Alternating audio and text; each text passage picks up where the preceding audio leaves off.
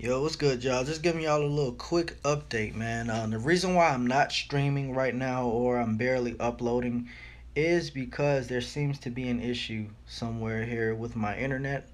Um, basically, when I go to upload a video, it takes like, it tells me it's going to take two to three hours to upload when it normally takes like 10 or 15 minutes just to do it. So I had an internet technician from my ISP internet service provider to come out here and actually look at you know what's going on with it. So he just left and um still experiencing issues. I don't know if it's just my computer.